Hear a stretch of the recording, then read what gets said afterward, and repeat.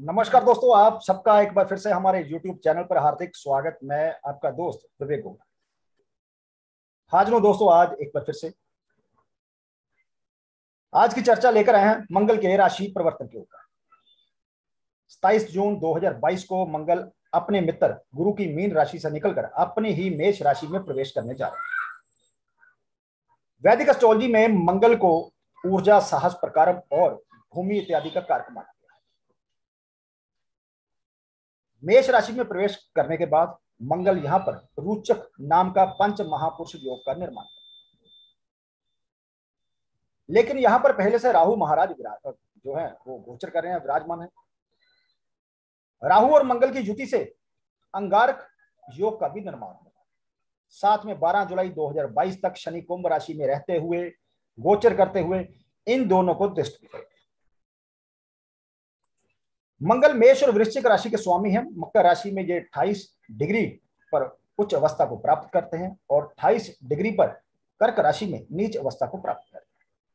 मेष राशि मंगल की मूल त्रिकोण राशि है। मंगल की राशि मेष जो है, ये अग्नि तत्व राशि है। मेष राशि में गोचर करते हुए दोस्तों, मंगल जो है, तीन नक्षत्रों की यात्रा करें। तीन नक्षत्र है, अश्विनी भरणी और कृतिका। अश्विनी नक्षत्र जो है, इसके चारों चरण इसी राशि में पड़ते हैं, मेष में। जिसका स्वामी केतु है। भरनी नक्षत्र के स्वामी शुक्र है, इसके विचारों चरण इसी राशि में पड़ते हैं। कृतिका नक्षत्र के स्वामी सूर्य हैं, इसका पहला चरण इसी राशि में पड़ता है। कहने का मतलब मंगल यहाँ पर गोचर करते हुए इन नक्षत्रों का भी प्रणाम देने के लिए मजबूर हो इस वीडियो में बात करेंगे सिर्फ़ और सिर्फ़ मेष राशि और लगन के जातकों के बारे में। कि मेष राशि में रहते हुए गोचर करते हुए, या सताइस जून 2022 को प्रवेश करने के बाद, मंगल, मेष राशि और लग्न के जातकों को क्या परिणाम दे सकते हैं? इस चर्चा को आगे बढ़ाने से पहले आप सब दोस्तों से, मित्रों से कहना चाहूँगा खास कर उन दोस्तों से जो पहली बार हमारे इस YouTube चैनल पर आए हैं और पहली बार इस वीडियो को देख रहे हैं। तो यदि आपने हमारा चैनल सब्सक्राइब नहीं किया तो कर लीजिए नोटिफिकेशन बेल का बटन दबाना ना भूलिए। जो भी वीडियो अपलोड करें यूट्यूब पर, चाहे वो वैदिक एस्ट्रोलॉजी से रिलेटेड हो, या फिर कस्पल या केपी एस्ट्रोलॉजी से रिलेटेड केस स्टडी जो समय समय पर अपलोड करते रहते हैं, आप उन्हें मिस मत करिएगा। साथ में यदि आपकी भी कोई क्वेरी हो तो आप दिए हुए इस व्हाट्सएप नंबर पर हमें मैसेज कर सकते हैं। फ़ीस दोस्तों एप्लीकेबल रहेगी तो चलिए बात करते हैं। कि सताइस जून 2022 को मंगल जो है अपनी ही मेष राशि में प्रवेश करने जा रहे हैं और इसका मेष राशि और लगन के जातकों को क्या परिणाम मिल सकता है?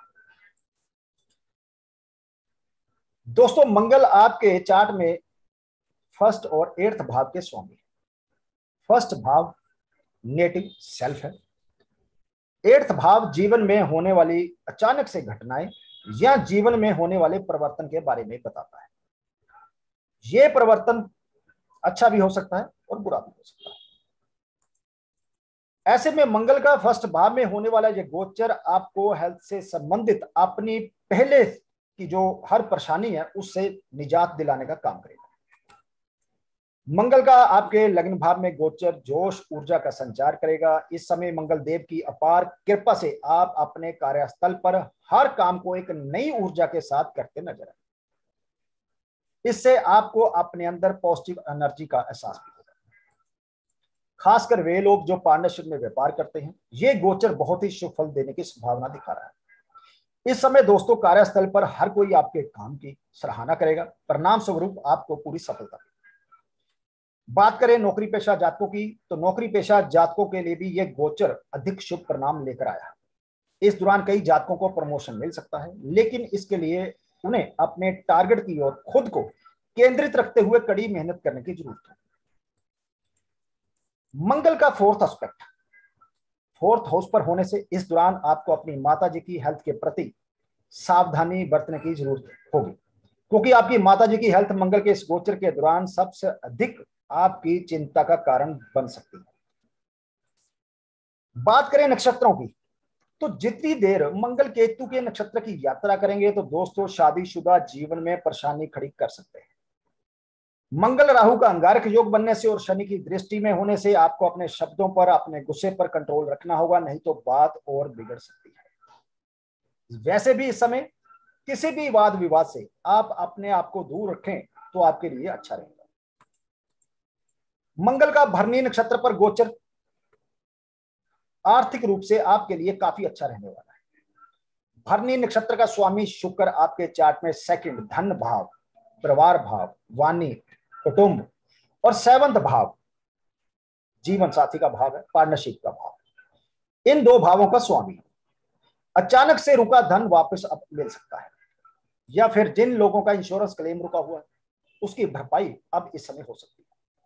वसीयत के रूप में भी आपको धन लाभ हो सकता है। बात करें आपके प्रेम संबंधों की तो इस गोचर के दौरान आपकी लव लाइफ में भी कुछ बदलाव खास तौर से देखने को मिलेंगे। लेकिन कब? जब मंगल भरनी नक्षत्र की यात्रा पर आपका रिश्ता पहले से ज़्यादा गहरा होगा। ऐसे में यदि आप अपने साथी के साथ विवाह के बंधन में बनना चाहते हैं तो इस समय आपको उसमें भी अनुकूल फल मिल सकते हैं। आखिर में मंगल दोस्तों कृतिका नक्षत्र की यात्रा पर निकले। कृतिका नक्षत्र के स्वामी सूर्य आपके चार्ट में फिफ्थ भाव के भी स्वामी मंगल के कृतिका नक्षत्र की यात्रा करते हुए आपके मान सम्मान में वृद्धि अपने से बड़े अधिकारी या सरकारी कर्मचारियों से आपके संबंध बढ़ेंगे, जिसका भविष्य में आपको आगे चलकर फ़ायदा होगा। इस समय परिवार के सदस्य एक दूसरे को सहयोग करेंगे, घर का माहौल सुखद रहेगा। इस समय एक बार फिर से आप और आपके जीवन साथी एक दूसरे का सहयोग करते नज़र आएँगे तो आपसी प्रेम बढ़ेगा। संतान पक्ष की तरफ़ से भी इस समय आपको सुखद समाचार मिल सकता है। कुल मिलाकर कहें, मंगल का अपनी मेष राशि में गोचर दोस्तों, आपके लिए आर्थिक रूप से काफ़ी अनुकूल रहने वाला है। यह थी एक छोटी सी चर्चा। मेष राशि लग्न के जातकों के लिए। मंगल का अपने ही मेष राशि में गोचर, जो कि 27 जून 2022 को होने जा रहा है, क्या फल प्रदान कर सकता है? चर्चा अच्छी लगी तो प्लीज़ वीडियो को लाइक कीजिए शेयर कीजिए। जल्द ही मिलते हैं एक और नई जानकारी को लेकर, दोस्तों, तब तक के लिए नमस्कार।